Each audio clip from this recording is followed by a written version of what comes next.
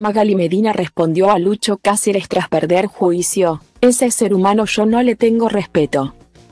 El último domingo, Datamse Magali Medina perdió el juicio contra el actor Datamse Lucho Cáceres, quien le interpuso una demanda por difamación y calumnia. Frente a esta sentencia, la conductora de Magali Televisión, la firme salió al frente de su programa este lunes para responderle al intérprete a quien no dejó de lanzar críticas y calificativos. Al empezar su espacio televisivo, la popular Urraca manifestó ser una periodista que tiene irrestricta libertad de opinión. En este país no estamos acostumbrados a la opinión discordante. Aprendamos a ser tolerantes con las opiniones diversas. Afirmó. Y minutos después, continuó con sus críticas hacia quien le ganó el juicio. Lucho Cáceres siempre me insulta, me dice de todo en redes sociales, señaló Magali Medina. Acto seguido, mostró una publicación escrita por el actor en Facebook, donde él la llama exconvicta. Ahí dice que yo no me he reeducado ni rehabilitado pese a haber estado en la cárcel. Según la conductora de televisión, es por esa razón que ella decidió contestarle. A ese ser humano yo no le tengo respeto, porque es un tipo violento, agresivo, insultante, patán, que siempre a lo largo de mis años de televisión se ha considerado intocable. Y sobre todo se las ha agarrado con la gente más débil, mis reporteros, camarógrafos y fotógrafos, sostuvo. Por otro lado, Magali Medina manifestó que Lucho Cáceres la ha amenazado a través de mi productor. Que si me encuentra en la calle, me iba a pegar. A ese punto. Eso me parece terrible. Muy violento, indicó la presentadora de televisión. Toda la vida tenía algo en contra de mi programa. Y así es, demasiado patán, añadió. De acuerdo con la conductora, su opinión está basada en hechos. Por eso, mostró en Magali Televisión, la firme algunos documentos de archivo en los que aparece el actor agrediendo a camarógrafos de su programa.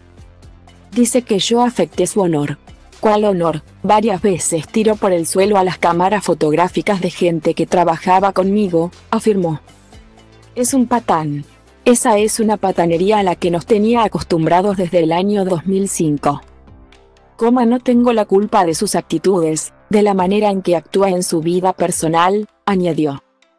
Como se recuerda, Magali Medina fue sentenciada por la jueza Data Contrast igual Auto María del Pilar Castillo del primer juzgado penal, quien le responsabilizó de ir en contra el honor, injuria y difamación agravada del demandante.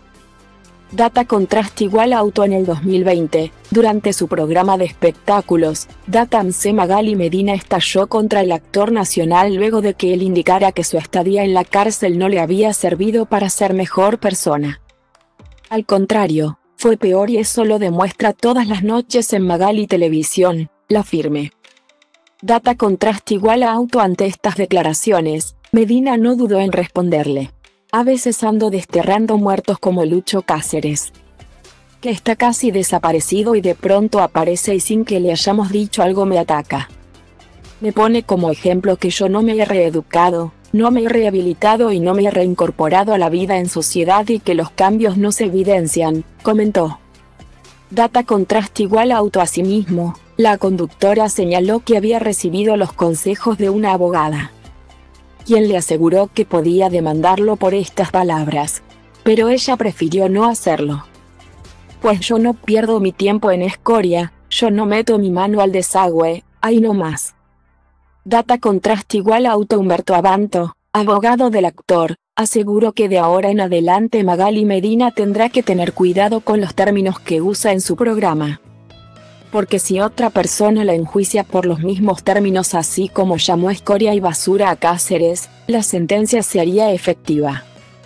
Data contraste igual a auto. Nuestros podcasts. Data se entendió esa referencia. Data R más 20 Blonde. La polémica está justificada. Data la polémica se armó con Blonde, la película sobre Marilyn Monroe que se acaba de estrenar en Netflix.